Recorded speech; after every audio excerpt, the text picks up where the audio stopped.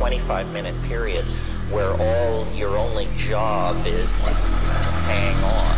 It builds. It's like watching an atomic explosion on the other side of 50 feet of absolutely clear crystal glass. I mean, you can't believe this is happening, quote unquote, in my mind.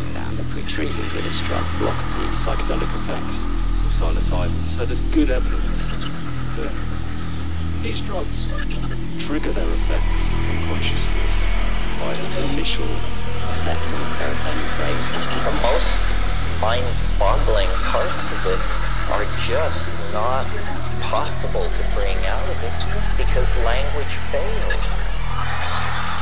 Now, this question about fear, which is a real question because when everything begins to slide, if you are not, if it's, it's, it's more than most people who haven't done it expect. They have heard it, they've read the book, they, they think it's a metaphor.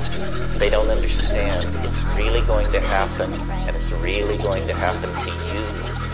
If I can just, if I live through it, it'll be alright. I've taken the drug. If I can just wait how long did they say It